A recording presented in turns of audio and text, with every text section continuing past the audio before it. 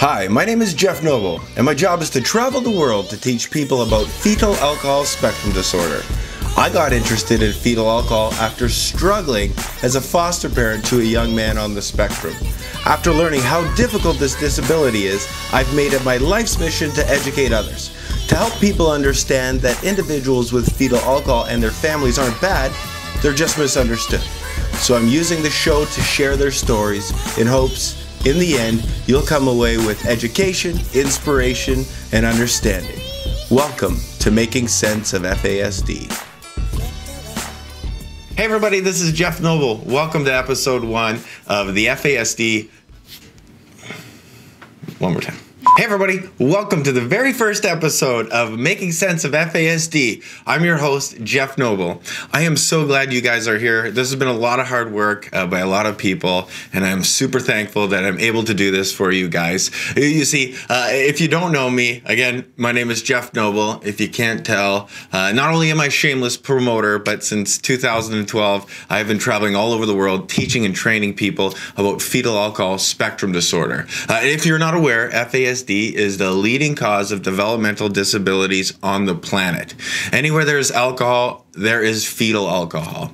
And along my journeys, I have talked to frontline workers, caregivers, professionals. What I've come to realize is there's a lot of misinformation. Not only misinformation, but there's not a lot of information out there to begin with. Not a lot of people are educated. And so what's happening is everybody is becoming frustrated and nobody knows what to do because the information isn't in the right hands. And so that is my job. I go into communities and I teach and train people about fetal alcohol. Now, I didn't always have this awesome job and the opportunity to uh, to travel and to speak. Uh, I actually come from some very humble beginnings. You see, uh, the way I got my start is I became a foster parent parent to a young man uh, with fetal alcohol spectrum disorder. And to be honest with you, it was the hardest thing I've ever done in my entire life. Uh, it was extremely challenging because I didn't know.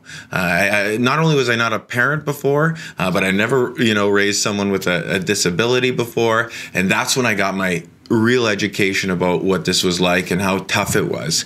Uh, it was so tough, in fact, that you know even uh, my wife, uh, who was my girlfriend at the time, uh, she even moved out of our place, and so there was misinformation. I was frustrated. He was frustrated, and luckily, I was able to get some great education.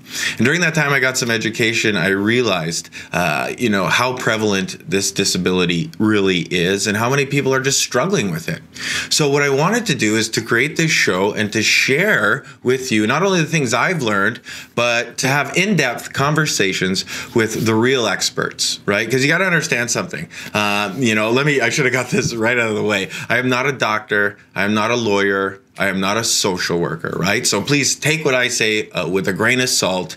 Uh, but what I want to do is I want to talk to the real experts, the you know the people who are um, living on the spectrum, but also who are doing the research, who are in the advocacy field, people who are doing some really good work. Because often as caregivers, you know, we we feel alone um, in, in our journey. Uh, but having been everywhere, I can see that there's a lot of awesome people doing a lot of great things, and I just want to share that with you guys uh, what not a better way to figure out how to deal with this than to get real life examples uh, of real humans not only living with it but working in the field every single day. Uh, because maybe just maybe you hear something or you pick something up that you're able to apply in your own life. Uh, because at the end of the day my goal is to teach people that you know uh, individuals with fetal alcohol aren't bad. They're just they're just misunderstood and not only the uh, the individuals but the family that takes care of them as well. And so my job is to normalize this disability and let you know that there's millions of people around the world who are dealing with it uh, and some are dealing with it uh, more effectively than others. And so what i want to do is focus on people who are, are good positive stories uh, because there's a lot of negativity attached to, to fetal alcohol. So that's basically what the format of the show is going to be about. Uh, we're going to open with me. I'm going to have a chat with you real quick and then we're going to go right to our guests because let's be honest, that's who we really want to hear. That's who we want to get the information from. And so for my very first, absolute very first guest, I thought, you know, who am I going to get? Who um, can exude uh, what success looks like on the spectrum? Who will be able to you know, come out and just say, This is me and I'm doing well. And so I follow this young man. His name is Kyle Burt. Uh, I follow him on social media. And when he posts, it absolutely brightens my day. Uh, this kid has done a lot of good things. He's an adult, uh, he's got his own apartment. And so what I did is I interviewed him and I wanted to ask him the questions like, What is working? What is going on behind the scenes. And so hopefully you could find something and get some inspiration from that and maybe duplicate it. Uh, but what we do know is that if you know one person with fetal alcohol, that just means you just know one person. Uh, so that's why I want to have a, a myriad of individuals, uh, both on the spectrum and in the uh, industry, in the arena, um, who are a part of this, and to find out what what are they doing, what is working, what are we finding, what's working, because that's what what happened with me as a as a foster parent. Uh, I, quickly realized that what I was doing wasn't working, and it was awful. It was, you know, when I look back on it uh, some of the things I did and reacted was um, you know, no wonder, no, no wonder we were having uh, uh, troubles. And so, uh, recognizing that this is really hard to deal with, I wanted to just contribute the the best way I can. So I, I think this show is going to be it, and I'm super excited. So I'm going to just stop yapping right now. We're going to get right to the interview. Uh, this is with Kyle. Uh, again, he's an adult on the spectrum, uh, doing well. And so let's go now to my man. Hey, do you think we could do like uh, a transition, like a storybook? I put more dedication in Special Olympics this year than any other year ever. I always prepare myself for the day when the whole world gets to see what I do, what I like to do. And that's what I'm doing now, to, to show the world that I'm a 29 year old who has FAS, who is adopted, who's Afri- African American. I mean, I had challenges growing up, and I still do. But I, I try to face those challenges by doing things I love, like running, singing, dancing, being creative. I'll just do whatever I have to do to get that gold. All right, so here we are. We are with uh, Kyle Burt. Kyle, welcome to the show. You are my very first guest. I really appreciate it. Thanks for joining me. Thank you very much, Jeff. I'm glad to be here. Well, listen, uh, the reason why I chose you to be uh, the very first uh, guest on the show is because I follow you on social media, and I just have to say your your zeal for life is infectious whether you are living on the spectrum you know uh, you're on the spectrum or not. Uh, you just seem like a happy go lucky guy uh, that has been through some times and so i just wanted to talk about that a little bit if you're okay with that i'm all right with everything okay that's awesome okay so you were you were adopted right away because uh, your mom was uh, consuming alcohol during pregnancy. Is that what happened? Yes, that is correct. So your mom had some addictions issues. Uh, you were put into foster care right away. D- uh, different foster families until the age of three. I only had one, one. Uh, at three. Uh, so until three, and uh, yeah, they were like like mom and dad to me until the Burts picked me up. Um, okay, so the Burts picked you up at, at, at, three, like at three years old, and then you were adopted. Mm-hmm. Do you have every any memories of that, or were you too young? I remember going to Chuck E. Cheese's and meeting them for the first time. so you remember that? I do remember that. Wow, that's awesome. And so and things were were pretty good, right? Like uh normal as business as usual. Like where where mm-hmm. uh you're from Washington, right? I am from Washington, yes. And so you stayed in the Washington area? Mhm. And did you know um that something was different about you when you were younger? I didn't know something was different about me until later on. I knew that I was adopted. I knew that um, I had some difficulties at school, but I didn't know that I was different from everybody else. I thought I was just a, a kid. That's all I knew. Mm. Um, I didn't know the the difference until later in life. So later is in because when you went through school, uh, you mentioned that you were in half special ed, half regular classes. Yeah. Uh, did you know that's why you were in the, the different class, or you just went where you were told? I just went where I was told, and I was a little bit angry because sometimes because I was not with my friends where my friends were, and always wondering why am I in all these other classes where all the regular kids were at, or I didn't know that they were regular than from what I was, but mm-hmm. um, yeah, I was always in the special ed classes um, from the normal classes, as you might say. Sure, sure, neurotypical. But who's who's really mm-hmm. nor- who's really normal, right, Cal? Exactly. Yeah. exactly. so then we'll we'll we'll fast forward. It's a little bit angry about that, but you kept going, and then you talk about uh, when you hit teenage years, when you hit 15 years old and that's when you said you know it uh, you escalated and you were aggressive and things changed. Yeah. Now looking back at it because you're 30 some odd years now what do you know what changed? What happened at 15 i don't know. I just remember that i was out of control and all these hormones were going through my body and I didn't really know how to contain myself. Even my parents didn't really know how to contain me either. They had to bring help in just to have to con- contain the Tasmanian devil inside me. I don't know. It was um, a difficult time in my life, and I I don't look at it as a bad thing. I think as a a positive thing in my life that I learned from. Uh, and helped me where I'm at today. Going through the the real tough times. Mm-hmm, yeah. Now, and so you said hormones contributed to that. Uh, when did you? How old were you when you got the diagnosis? Um, around. I don't know. I was a young age, probably. Um, young age. Okay, so yeah. you're young. You're young. So, but at 15, did anybody tell you try to explain your disability or bring it up? I already knew about it, I think, um, but I didn't put two and two together.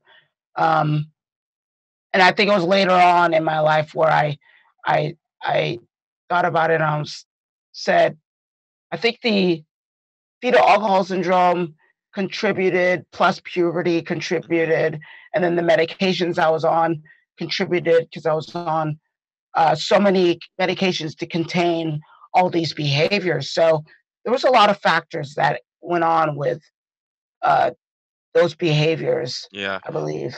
But uh, and, and you didn't want to to be like that, right? Like you weren't. No, who does? Who wants to be out of control and and hitting people and and and putting holes in the walls and things like that? I mean, if I could go back and change it, I would. Sure. Yeah. Sure, and you're right. You're just proving my point. Uh, when I often, when I go around to do trainings, um, uh, my positioning is, you know, there's no kid growing up wanting to hurt somebody else, right, or mm-hmm. or or be me. But it was just you were just super frustrated, and you you had a hard time expressing it. Exactly. Yeah. Okay, and so 15, and then it, it's so the what happened next was typical to uh, a majority, a lot of families. I don't want to say everybody. Uh, to a lot of families where you transitioned into a group home because it came too became too much for your family, right? Mm-hmm. Correct. All right. So you moved into the the, the group home. Um, you're angry at your parents at first because you thought they put you in there, right? Yes. And so it a little while passed and then you started to answer their phone calls again and talk to them. Exactly. Yeah. Uh huh. And okay. it was a so. And man, during those phone calls, it was hard enough for me to actually get through those phone calls because I was still a little bit uptight and angry. But I got through it, and then later on in life, I figured that the reason why they put me there was because they loved me and they wanted to take care of me. And if I wasn't in that situation in those group homes, I would be on the street, in jail, or prison, or whatever, because I would have done some crazy stuff. And I can see that now. right. Now, talking to you, looking at you, it, one would be tough to suspect that you, you know anything was going on. Uh, with the diagnosis of fetal alcohol, what are some of the symptoms that you have? What are some of the things that you struggle with? So, like a lot of people who who have fetal alcohol syndrome, like and like have problems with math, and that's one of the things that I I have a problem with is math. Um, another problem I have is probably uh, listening.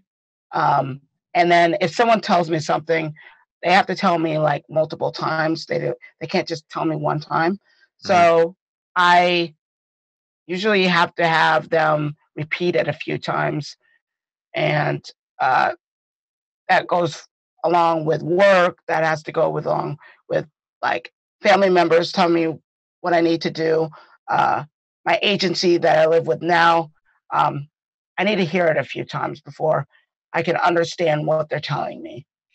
Now, are you okay with asking a few times? Do people get upset with you? Do you say one more time, or do you say it with a smile and people just tell you? No, I usually, if I, oh, you when they ask me like again, yeah, like, they right. tell me again, yeah, yeah. I actually, um, I'll give you a good example. When I was at work this last Christmas, I, my, my boss told me one thing, and I went out to go and do it and I didn't understand what he told me. And I was I was like afraid to go back to him and ask him again. So what I did was I just like thought, okay, I'm just gonna try to figure out what he's thinking and and and what he told me. But I I still thought, okay, I'm gonna do it incorrectly. So I asked other coworkers. And then finally, as soon as I started running around the block a few times, um, not doing the job he told me to do, he comes up to me. He's like, just ask. That's the best thing you can do for for me because if you don't ask, that just makes more work for us. So, uh, um, and and it helped me in the long run. Um, and he understands my diagnosis. And uh, yeah, and, we'll get to that. I'm gonna ask you about yeah. I know you're so awesome. You're ahead of me. You already know because yeah, you know.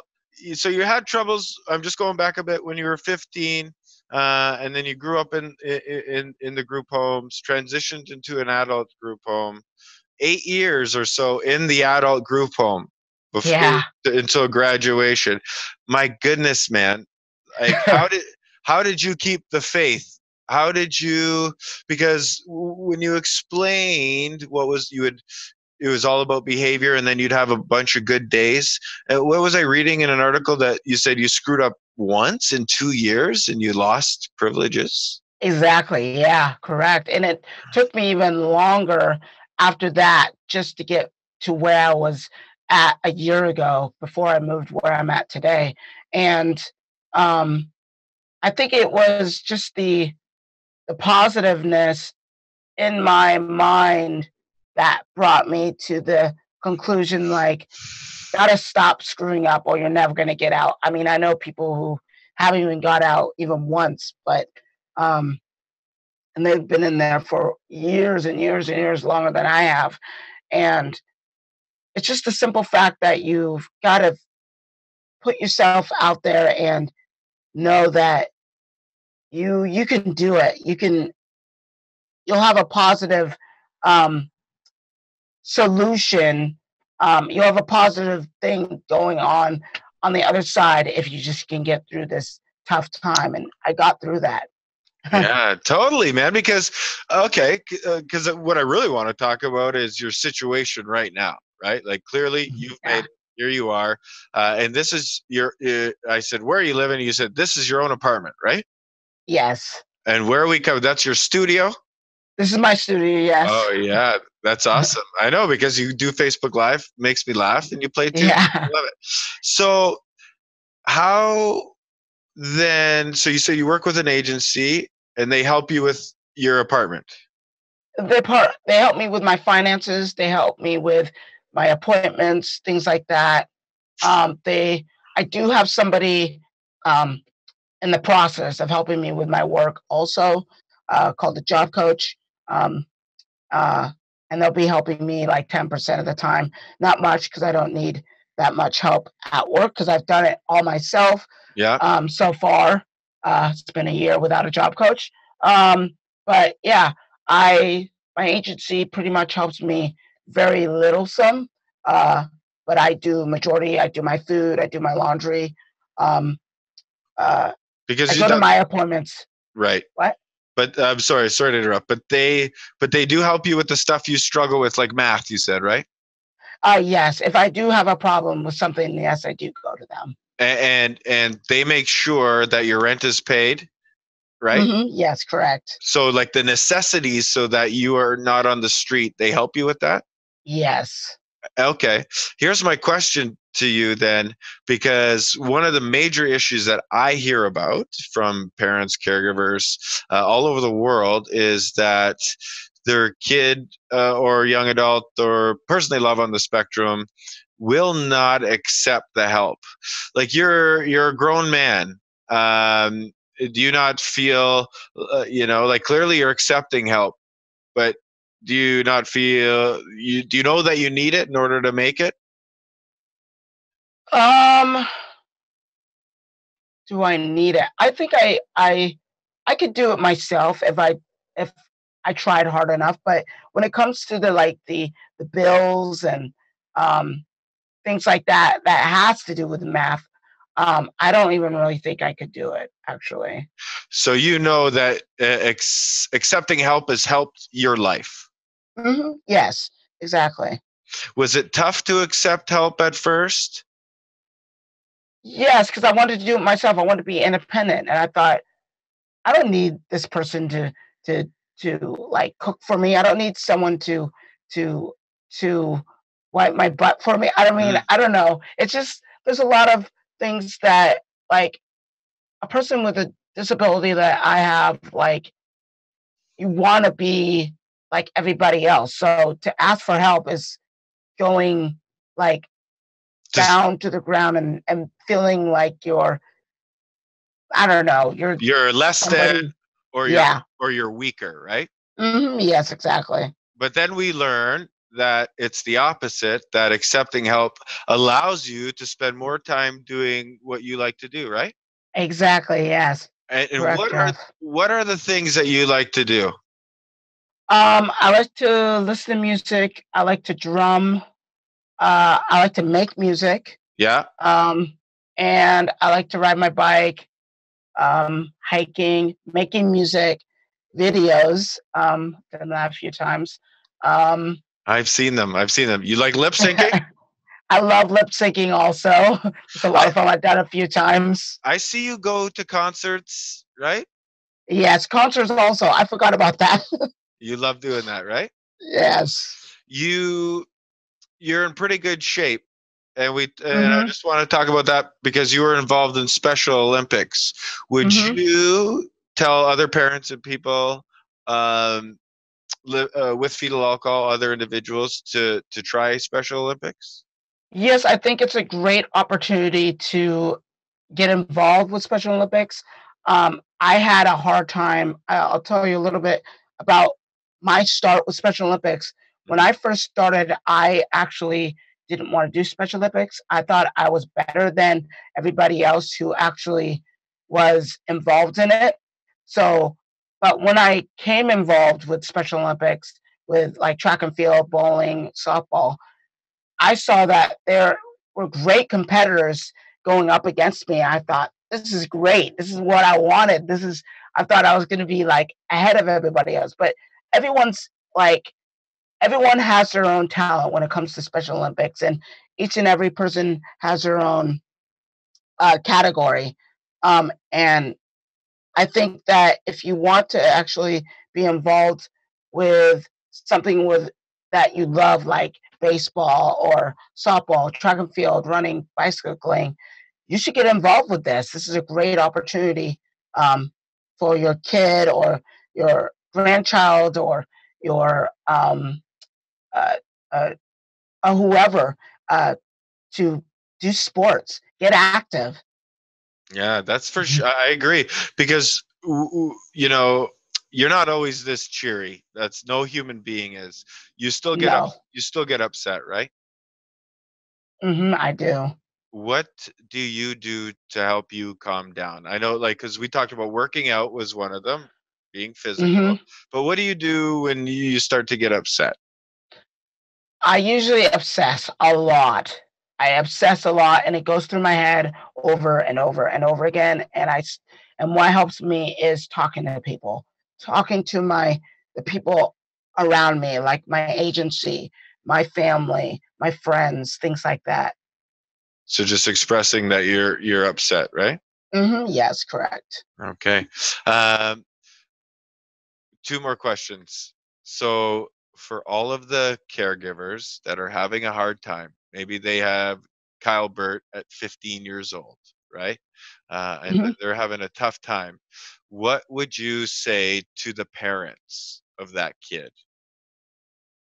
Um, it's fun. I've been asked this question before uh, from a, a lots of parents, actually. Um, I think that you don't give up on them. You'll get through it. I think that they're the child is actually hurting inside. They don't know what's going on. Um, and and don't like even if you have a make have to make a decision of putting them somewhere else um i know the the the, the response that's going to happen is probably going to be uh like rejection from the child to the parents and things like that. But over time, they will understand, hopefully, they'll understand that it's all from love and uh, that you care about them and that you want them in a better place. Um, and that's the reason why you want to put them in a, a group home or a uh, someplace that will make them safer than not safe because that's my parents were like they thought like I could destroy their whole house. Um, and I didn't want to do that to them. At the time I didn't care, but now I do care of right. what I, I do and what responsibility I have in my life.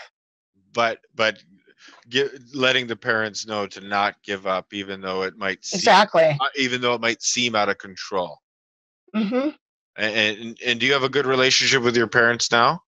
Oh yeah, I do. I see them on a daily basis. They he- live here where I where the city yeah. I live in, and uh, that's the reason why I lived. Uh, I came back to the city I'm living in now. I was living somewhere else, an hour away from here, uh, for uh, 17 years, and um, uh, those were my days where I fully matured. And then once I came back, I was a totally different person. Um, it was funny because my parents um, didn't believe that I could ride my bike around and thought I wouldn't be responsible enough to ride my bike. And then when my parents first saw me ride my bike, like here where I live now, they were a little bit uneasy, very, not very, um, like, very scared for me. But then they fully realized and trust me that I could do it myself. And I have been doing it for a year now. Um, so riding a bike, are we talking a bicycle? Bicycle, yeah. I ride it around town. I don't drive, so. So you ride um, a you ride a bike, and now your parents they trust that you could do it. Yeah. Mm-hmm. But it took yeah. a little bit while because how old are you now? I am 33. Um, you don't look a day over 20, guy. Everyone says I'm like 20, but I'm not. I I'm know, 33. I know you're you're a wise soul though i tell you what kyle. Honestly uh, this has been great insight. It's it's important that caregivers and people see that uh, um, individuals with fetal alcohol can have a really great life and they could do good. It just looks different and you might need some help in in certain areas uh, but you have a lot of talents and you can still enjoy life. And i to me what it looks like and from talking to you and seeing you that you and you enjoy uh, life to the fullest.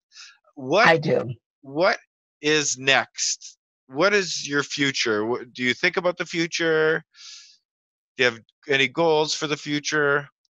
Um, I think I want to. I don't know. I think I want to actually record music, um, not as a a real job. I just want to do it like as a path, uh, a great hobby. I mean, yeah. I'm already doing it, but I want to do it more and learn more about it.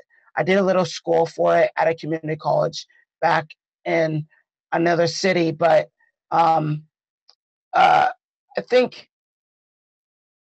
learning the software, learning how to make beats and things like that. Um, singing better also. I mean, I can I can sing, but I don't think I sing that great. um, um, what else do I want to do?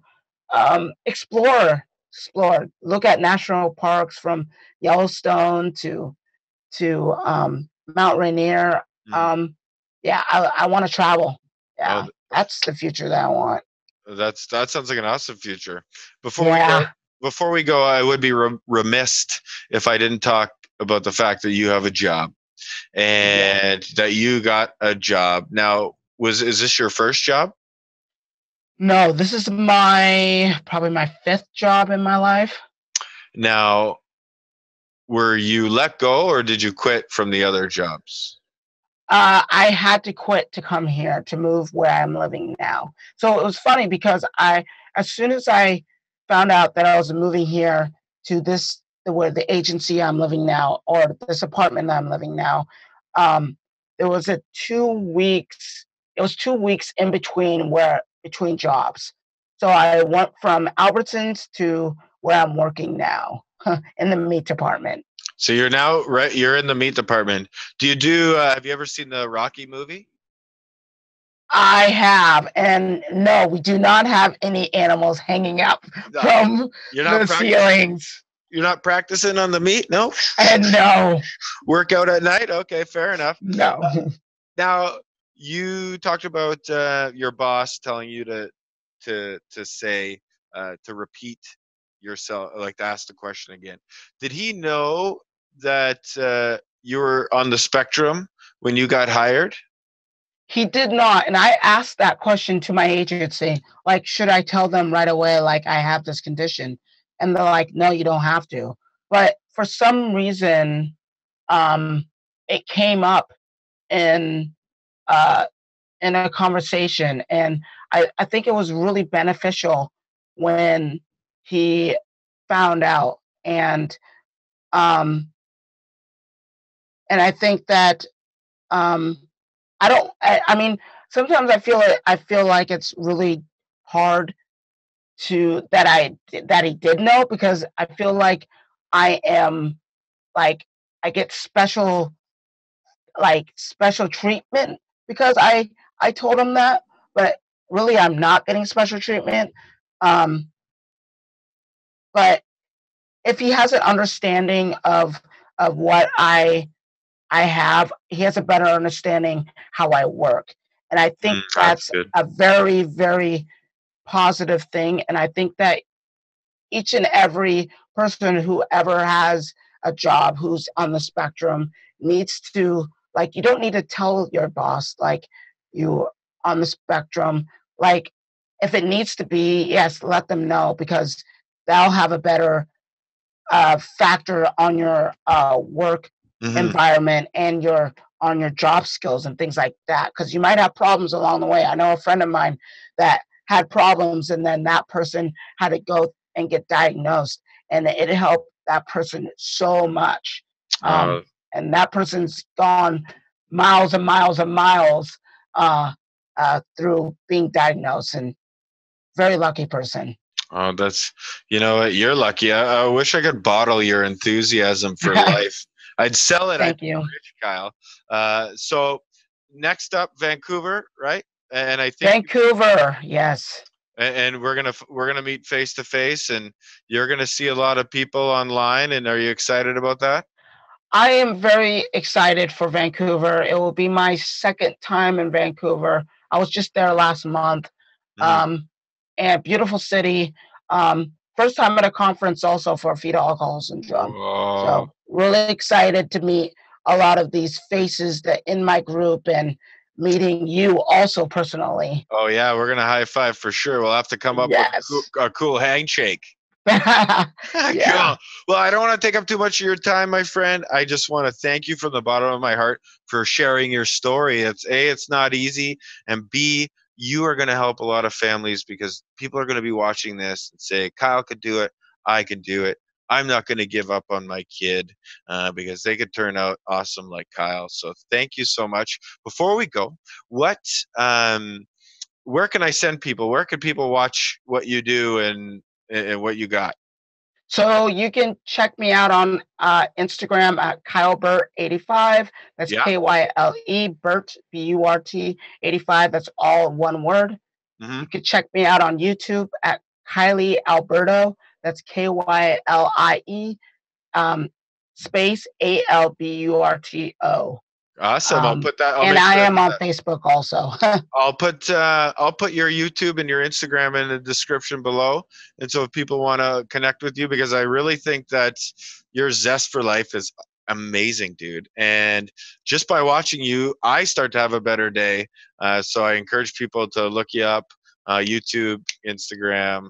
Uh, you're the man, and I'll, I'm going to see you uh, next week. yes, next week. Can't wait. What a fantastic interview that was. Kyle Burt, he is an inspirational young man. I can't wait to see what he does in the future. If you want to follow his YouTube channel, the link will be in the description below. Go ahead and, and hit that, uh, and you can see all the, the, the wacky videos he does. Uh, I think it's poignant to to bring up some of the points that he talked about that I think are, are super valid. Uh, and the first one is is that when he said he was 15 years old, he really had a, a troubling time, you know, with hormones, medication, not knowing what was going on, and that he expressed himself uh, in an angry manner. And uh, I think if your kids are in that position right now, he said to hang on, you know, don't give up on them. Uh, you can get through it, and I believe it is true uh, at the same time. Uh, this is a classic example of what success looks like when the individual with fetal alcohol, like Kyle, is in the right environment. And he talked about his agency helping uh, him with uh, making sure his rent was paid and that his bills were paid, uh, and then he was able to take the leftover money and do what he wanted wants with it. As you can see, he was making a studio because one of his strengths is he loves to sing and make music, and so he should be able to have the, the opportunity to do that. I hope to meet up with him someday soon and do some uh, some karaoke with him. I'm also a horrible singer, so that uh, uh, he's gonna make me look bad, but I don't care. I'll give her anyway. So Kyle, thank you so much for joining us. We go. You know, since this is a show, what I thought we'd do is we'd have some live music. I always see those on late night shows and shows, and that's what I want to do. So I have my best friend in the whole wide world, Colin. And since we're talking about strengths, we're talking about Kyle's strengths. Well, Colin's strength is uh, playing the guitar. So I just wanted to share it with you. We're going to end on that note. Uh, if you want more information, you want to see more episodes and be notified first, uh, then please sign up for our newsletter. Uh, the uh, link is in the description below. I,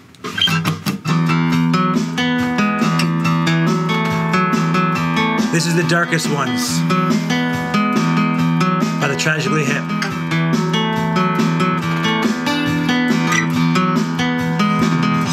Come in, come in, come in, come in, come in. To making sense of FASD,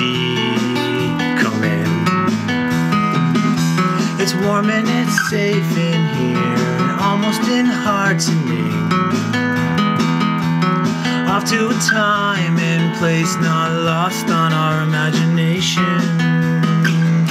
Well, you don't complain, but you still do. Well, you don't explain if you want to explain.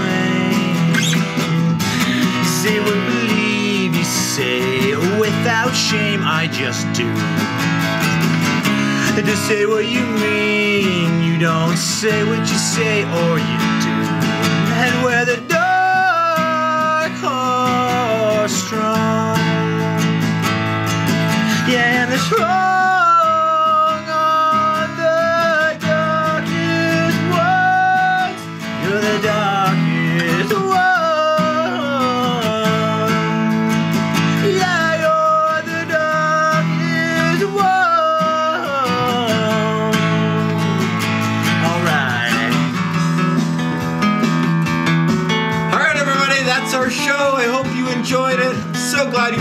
join us. Until next episode, take care of yourselves, keep up the good work, and we'll chat soon.